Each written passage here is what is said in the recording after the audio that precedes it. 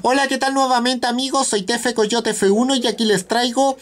eh, otra noticia en relación con el mundo automotriz y bueno, ahora les voy a hablar nuevamente del nuevo Valkyrie de Aston Martin que debuta sobre la pista de Silverstone y bueno, como sabemos el Hypercar de la firma británica y de Red Bull eh, ha debutado en el fin de semana del Gran Premio de Gran Bretaña de Fórmula 1 de este 2019 acompañando a la escudería austríaca con su decoración y ahora a continuación hablaremos de, aquello. Bueno, bueno, cinco años después eh, de que eh, Adrian Newey eh, comenzara a diseñarlo, el Aston Martin Valkyrie ya es una realidad que se puede sentir ya en la pista. Bueno, el Hypercar eh, que ha unido Aston Martin con Red Bull Racing ha hecho su debut público y en el asfalto del circuito de Silverstone en plena fin de semana del Gran Premio de Gran Bretaña de la temporada 2019 de Fórmula 1. Y bueno,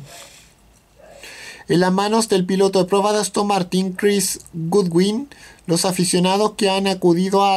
esta cita británica con el, gran, con el Gran Circo han podido ver y escuchar por primera vez el Hypercar híbrido de 1160 caballos de fuerza y con, un, con, un, con su impresionante motor tipo V12 atmosférico de la marca Cosworth y bueno, aún sin buscar su límite, pero viendo como la estilizada y aerodinámica carrocería llena de detalles toma curvas toma las curvas más famosas de, esta, histórica pista británica y bueno, el Valkyrie se encuentra en la recta final de su desarrollo con meses de trabajo de simulación y modelado de la mano de los ingenieros de Aston Martin y Red Bull Advanced, Technologies, eh, responsable de este ambicioso proyecto que nació del lápiz del diseñador de del equipo austriaco Fórmula 1, el británico Adrian Newey. Esta primera toma de contacto real en pista es el fruto de todo este trabajo y bueno.